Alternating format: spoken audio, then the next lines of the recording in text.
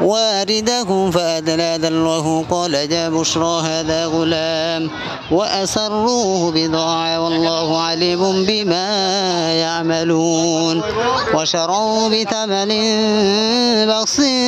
دراهم معدودة وكانوا فيه من الزاهدين